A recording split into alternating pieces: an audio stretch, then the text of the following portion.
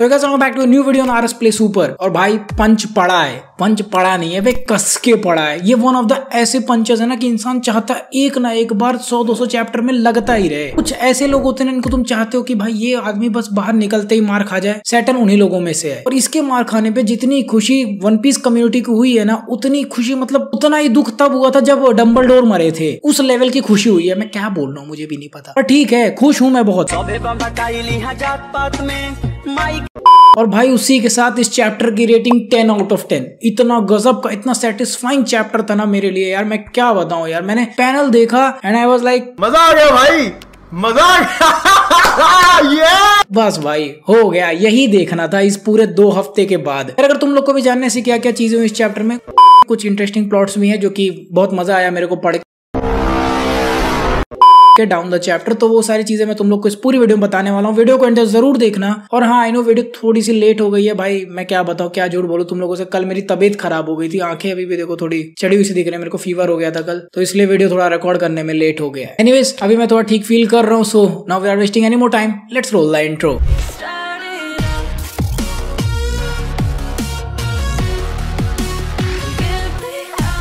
फिर chapter number 1104 chapter का title है thank you daddy I mean thank you Kuma daddy और I mean thank you Kuma and chapter के अगर cover page की बात करो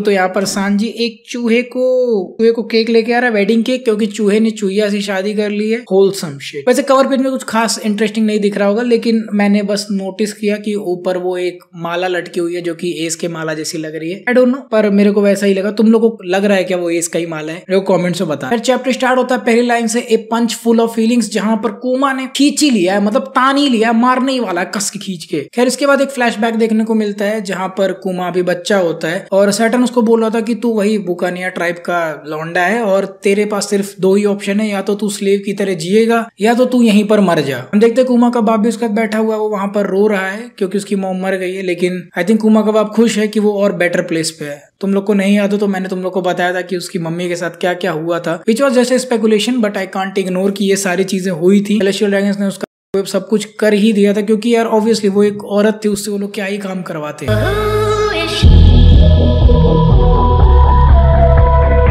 हमें जिनी का भी फ्लैशबैक दिखता है जहाँ पर वो सॉरी बोल रही होती है रो रही होती है। मतलब जब बच्चे थी तब वो रो रही होती है और एक ट्रांसपोंडर स्नेल के थ्रू उसका कॉल आता है कि अब वो मरने वाली है। तो जब मतलब मरने से जस्ट पहले वाला है तो ये पूरा फ्लैशबैक ओवरऑल हमें दिखता है क्या क्या हुआ कुमा के लाइफ में। और जस्ट नेक्स्ट पैनल में हम देखते हैं कि बोनी रो रही है। तभी सेटन की आँखें खुलती है और वो बोलता है पंख ये क्या चूतिया फैला रखा है तुमने? और चुतिया तो तूने फैला रखा है यार। वो बोलता कि आखिर कुमा इस समय ज़िंदा कैसे है? मैंने बैकअप प्लान एक्टिवेट कर दिया था जिस दिन रेवोल्यूशनरी आर्मी उसको चुरा कर लेके गए थे। तो फिर आखिर ये बंदा ज़िंदा कैसे है? जब मैंने उसका सेल्फ डिस्ट्रक्ट मोड ट्रिगर कर दिया था। और ये चीज़ सुन के तो इवन वेगा पंक भी चौक जाता है। लेकिन चौकने या फिर सेल्फ डिस्ट्रक्ट करने से क्या ही होगा सेटन तेरे ऊपर तो मुक्का खींच चुका है। अगले पैनल में हम देखते हैं कि कुमा ने पीछे लिया है पंच और अब दाब के मारने वाला है यार। उस, उसने बुशुशु को हाकी भी एक्टिवेट कर लिया और ऐसा वैसा लग भी नहीं रहा पैनल में देख के। बहुत ही डार्क लग रहा है भाई उसका हाकी का पूरा कोटिंग ये पंच भाई लगने वाला है बहुत ज़ोर से लगने वाला और वही होता भैया अगले पैनल पे इतने ज़ोर से सीधे उसके ठोपड़े में घुसा देता वो मुक्का मज़ा आ गया भाई। फीलिंग है ये। ये देख रहे हो ये ये फीलिंग है। Everything, down to the last minute details. ज़ोर से लगा भाई पंच और ने जस्ट नेक्स्ट पैनल में हम देखते हैं सैटन की अभी भी एक आँख खुली हुई है और वो देख के बहुत ही अनोयड लग रहा है क्योंकि भाई इतनी भी नीचे जा सकते वो नाव कुमा लग तो गया ही ना तुझे लगा ना भाई अच्छे से हैं पड़ गई ना एक मुक्का निकल गई सारी बेइज्जती तो हो गई अब एक बार यार, लग तो गया ही है। पंच भाई, इतने ज़ोर से लगा सैटन को कि उसने मुँह से खून फेंक दिया है। और उसके बाद अगले पेज के पहले पैनल पे हम देख सकते हैं कि यहाँ पर कुमा एकदम हवा में उड़ते हुए उसको पंच किया था। वो बहुत अच्छा लुक लग रहा है मुझे कुमा का ओवरऑल और सैटन यहाँ पर दूर छटकता हुआ जा रहा है। और सिर्फ़ दूर जा नहीं रहा है भाई, उसने दो तीन वेगापंक की बिल्डिंगे गिरा दी है। आई थिंक उसके बाद भी वो नहीं रुक रहा है। ऑलमोस्ट जो पूरा लैब का पूरा एरिया है ना, जो सिटी टाइप का एरिया हमें दिखा था मांगा के स्टार्टिंग में, वो पूरा एरिया ही टूट गया, इतने ज़ोर से कुमा ने उसको मारा है। भाई, मेहनत करने वालों का पंच है, ठीक है? कुर्सी बैठ के ज्ञान पेलने वालों की नहीं चो दिए यहाँ पे, क्योंकि बुकानिया ट्राइब का, अगर पंच लगा ना तो भाई कस के ही लगेगा। हाफ़ जायंट है भाई वो। और ये वन ऑफ़ द ऐसा मोमेंट है ना, अगर तुम नहीं भी रिलेट कर पा रहे हो किसी वजह से द वे अगर तुम ये वीडियो देख रहे हो तो तुम रिलेट कर ही रहे होगे। But let me remind you जब लूफी ने सेलेस्टियल ड्रैगन को एक बार पंच किया था, वो वाला पंच सच बता रहा हूँ, इतना सेटिस्फाइंग है कि काइडो को जो पड़ा था ना, वो भी मतलब उस लेवल की फीलिंग नहीं देता, जो उस समय मतलब जिस तरह से उसको टोई एनिमेशन ने दिखाया था यार, ऐसे खींच के मारा था लूफी ने, और इस समय सेम वही काम पुमा ने यहाँ पर किया है। बे, मैं सच बता रहा हूँ, मैंने तो खैर मांगा अभी 2020 में पढ़ना स्टार्ट किया ना 2021 में पढ़ना स्टार्ट किया था। पर जो लोग इसको आई थिंक 2005-6 से पढ़ रहे होंगे ना, उनके लिए तो यार भाई इमेजिन करो भाई, वो इस समय बाप बन चुके होंगे भाई अपने बच्चों के, और वो इसको पढ़ के कितनी खुशी मना रहे होंगे, पढ़ा बहन, एक बार और, यही चाहिए था, यही चाहिए बहन यही चाहिए। कुछ ज़्यादा ही खुश हो रहा हूँ मैं यही चाहिए। ओ भाई। शायद ये देख के ही तबीयत ठीक हो गई थी मेरी। खैर, इसके बाद हमें मरीन्स दिखते हैं। मरीन्स का रिएक्शन होता, क्या हो रहा है भाई? कुमा के साथ क्या हो रहा है? कुमा ने क्या किया? और उसके बाद सारे मरीन्स की गांड फट गई है कि भाई, कुमा ने एक, क्या कहते हैं one of the five elder को पंच मार दिया है। मतलब ही literally attack the greatest power to ever exist in One Piece और लोग भी सेम यही चिल्ला रहे हैं कि इतना ऊँचा होने के बाद भी अगर कोई स्लेव तुमको पंच मार के गया है ना, ये चीज़ एकदम अनबिलीवेबल है। यार सेटन को पंच करते ही सारे के सारे हिस्ट्रो हेड्स वापस से मतलब मूव करने लगते हैं, वो सभी के सभी वापस से, क्योंकि सेटन के होने की वजह से वो सभी लोग एक ही जगह पर रुक गए थे, एकदम स्टैचू बन गए थे। और सभी के सभी लोग अब सीधे बोनी की तरफ़ दौड़ते हैं, क्योंकि उनका एक ही ऑब्जेक्टिव है कि किसी भी तरह से बोनी को अपर लेवल पर लेके जाए और वहाँ से शिप में बैठ के यहाँ से फटाफट कट लो, क्योंकि ये आईलैंड अब सेफ़ नहीं है। यहाँ पर वेगापंग भी वही सेम क्वेश्चन सोच रहा है मतलब जो सेटन ने उससे पूछा था कि what is the meaning of this आखिर ये सब हुआ कैसे? कैसे कुमा का कंट्रोल उनके हाथों से छूट गया, जब कुमा के पास खुद का दिमाग ही नहीं बचा? यहाँ पर वेगापंग अपने मन में सोचता है कि उसने कोई सिंपल सा सेल्फ डिस्ट्रक्ट नहीं इंस्टॉल किया था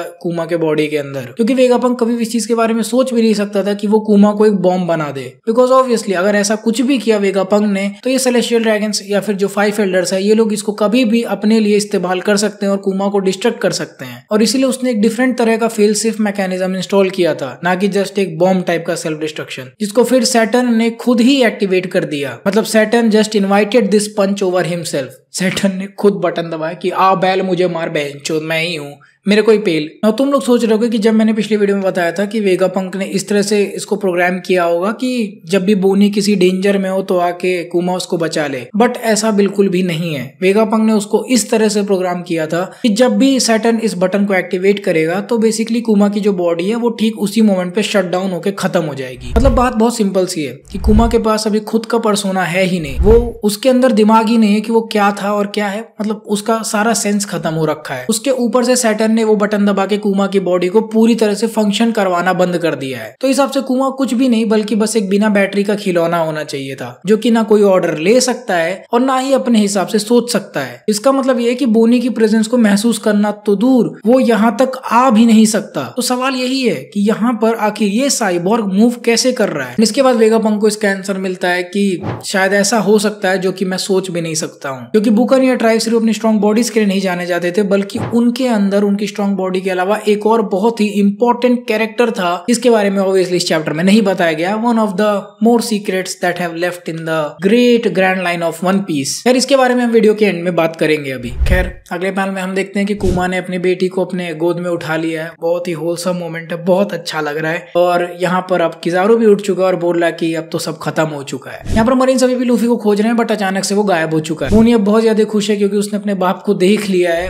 फाइनली उसके हिसाब से उसको वो मिल गया जो उसे चाहिए था। इतने समय के बाद उसने कुमा को देखा है यार। कैसे नहीं खुश होगी वो? उसके गाल पर हाथ रख के ऐसे बोलती है कि thank you daddy for everything जो भी आपने मेरे लिए किया। मैंने आपकी सारी यादें देखी और मम्मी सच में बहुत ही गजब की औरत थी यार। आपने मेरे लिए बहुत बहुत सारे लेटर्स लिखे और उसके लिए बहुत बहुत थैंक यू मुझे बहुत ज़्यादा अच्छा लगा। ये सारी चीज़ें बोनी अपने बाप को बोल रही होती है। बोनी का ट्रांसफॉर्मेशन भी खत्म हो गया। वो वापिस से बच्ची बन चुकी है और वो सीधे सीधे कुमा को बोलती है कि, मुझे कोई फ़र्क नहीं पड़ता कि लोग आपको क्या बोलते हैं और आप मेरे लिए इस पूरे दुनिया में सबसे अमेजिंग आदमी हो और मैं ये चीज़ कभी नहीं भूलूँगी। And that's what she said क्यों बोला मैंने ये?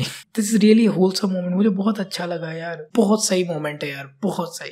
मज़ा आ गया भाई। यार ये खुशी बस बहुत ही शॉर्ट लिव्ड होती है, क्योंकि तुरंत अगले ही सेकंड हमें ब्लैक लाइटनिंग देखने को मिल रही है कोने कोने में मांगा के पैनल में। मतलब basically I think very very advance version of how शुकू hockey या फिर any other kind of hockey I don't exactly know पर यही है कि सैटन वापस आ रहा है। सैटन यानी कि ये मकड़ा यहाँ पर वापस उठ के खड़ा हो जाता है और हम देखते हैं कि उसका एक हाथ पूरी तरह से खत्म हो गया है। सच में कुमा ने बहुत ज़ोर से मारा है। बे सैटन का हाथ टूटा है बड़ी बात है यहाँ पर। यानी यहाँ पर बुढ़वा उठते ही बोलता है कि, वेगा पंख, मैं अभी भी तेरे से एक्सप्लेनेशन एक्सपेक्ट कर रहा हूँ। आखिर ये सब हुआ कैसे? इस पे वेगा पंख बोलता है कि कोई बात नहीं, मेरे ऊपर ही सारा ब्लेम डाल दे। क्योंकि एनीवेज मैंने ही गलत फेल सेफ़ उसके अंदर डाला था। लेकिन अगर तू एक ए रोमांटिक पर्सन है ए रोमांटिक का मतलब एक ऐसा आदमी जो कि रोमांस नहीं फील कर सकता। एंड समाओ एल लोगों में एक ये कैटेगरी भी है ए रोमांटिक ए सेक्सुअल माई माचुदा है मत मत मत खोजो उसको जाके।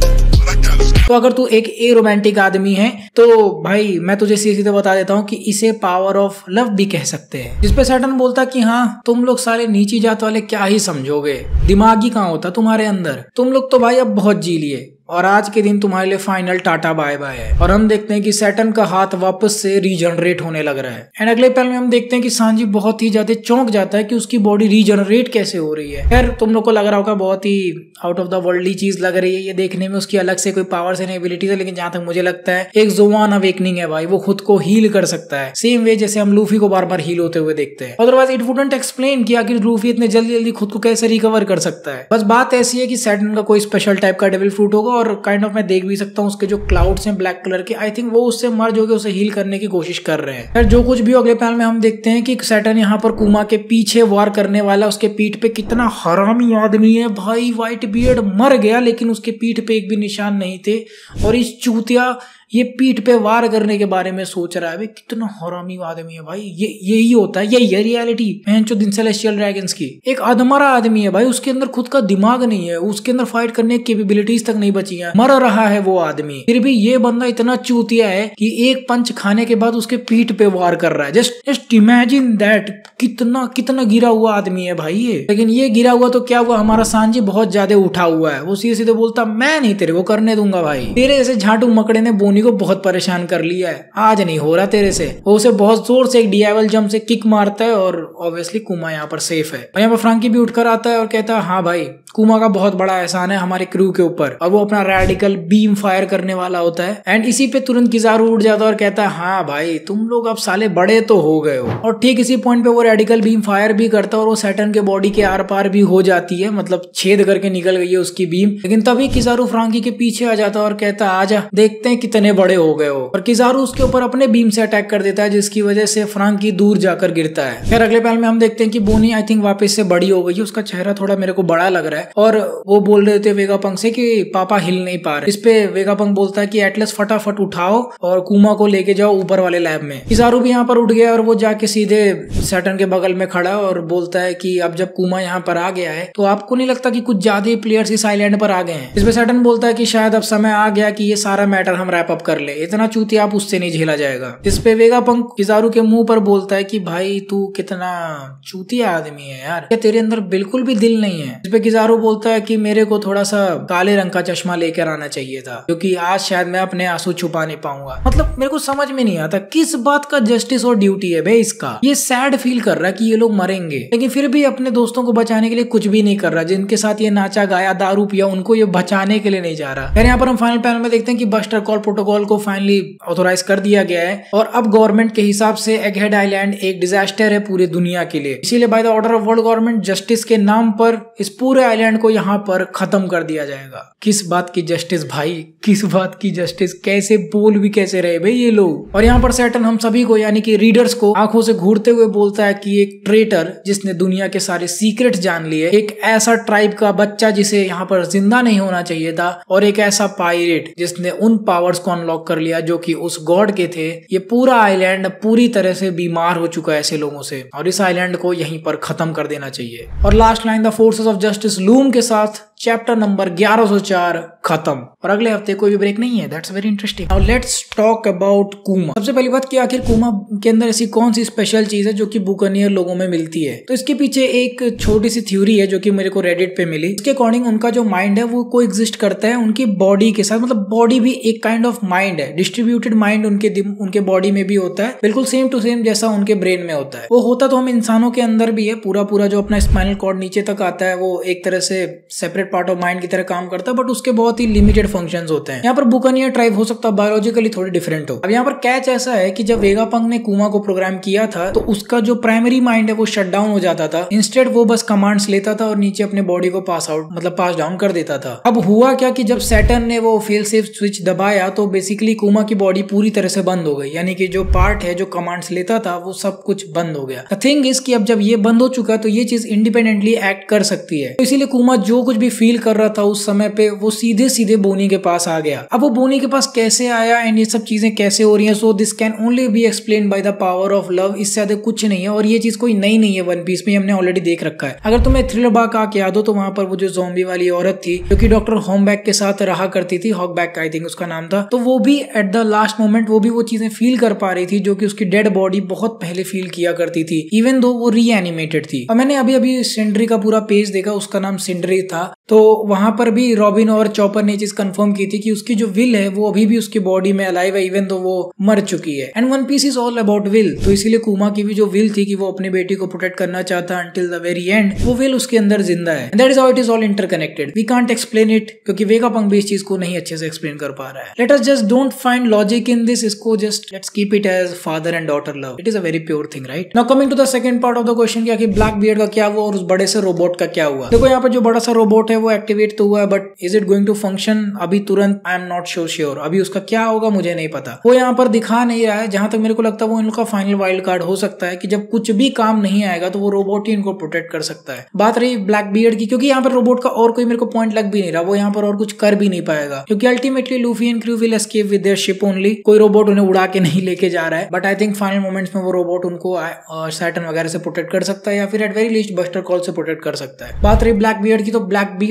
मेन फाइट में नहीं आता, हम सबको पता है। वो लास्ट में आता है और धीरे से अपना काम निकाल के चला जाता है। सबसे पहली चीज़ की उसको ऑलरेडी पता कि एगेड आइलैंड एक स्ट्रॉन्ग होल्ड है गवर्नमेंट का तो वहाँ पर वो सीधे सीधे नहीं आएगा। He is there with some kind of plan जहाँ पर वो यही एज्यूम कर रहा है कि इन सारे फाइट के बाद जो भी रिमेन्स बचे होंगे, वो उसको ले लेगा। जहाँ पे मुझे सबसे ज़्यादा पॉसिबिलिटी लगती है सेराफिम्स की। उसने ऑलरेडी उनके पावर्स एंड एबिलिटीज को देख रखा है तो कोई ना कोई सेराफिम वो यहाँ पर उठाने के लिए आएगा। या फिर जो सब लोग उम्मीद कर रहे हैं कि वो हो सकता हो सैटर्न का डेविल फ़ूड चुरा ले। मैं चाहता हूँ वो सैटर्न का डेविल फ़ूड चुरा ले या फिर सैटर्न को मे बी किडनैप उडनैप कर ले और फिर माँ चौदह इन मेरी जॉयस वालों की। But let see long run में ब्लैक बियर्ड के हाथ में इतना स्ट्रॉन्ग डेविल फ्रूट बहुत ज़्यादा प्रॉब्लम क्रिएट कर सकता है। तुम लोग क्या चाहते हो? क्या ब्लैक बियर्ड सैटर्न को पेले या नहीं? क्या तुम लोग इतने दुखी हो गए हो कि तुम चाहते हो ब्लैक बियर्ड उसका फ्रूट चुरा ले? ये सब चीज़ तुम लोग मुझे कमेंट सेक्शन में बताओ। मज़ा आएगा इस बार कमेंट्स पढ़ने में, सच में। कॉमेंट कर देना। And also you in the next video फटाफट चैनल को भी सब्सक्राइब कर दो। सब्सक्राइबर्स के नंबर को ऊपर लेके जाओ। बहुत समय से आ नहीं रहा था। And until next video play on